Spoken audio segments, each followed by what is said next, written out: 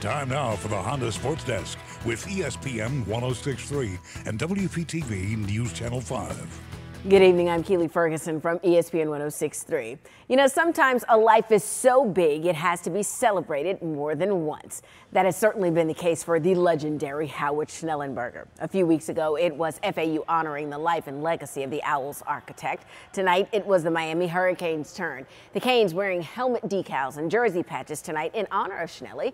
Schnellenberger coached the Canes from 1979 to 1983, leading them not only back from the brink of extinction, but also to their first ever national championship in 1983. Tonight, Miami also inducted the late coach into its Ring of Honor, making him the first Canes coach to receive that honor. For the Schnellenberger family, the celebrations are also a chance to connect with the young men that the coach helped raise. Most of these boys I've known since they're 18 years old.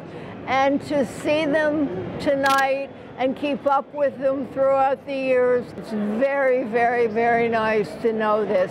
They absolutely love Howard Schnellenberger. They didn't love him too much when they were playing for him, but they love him now.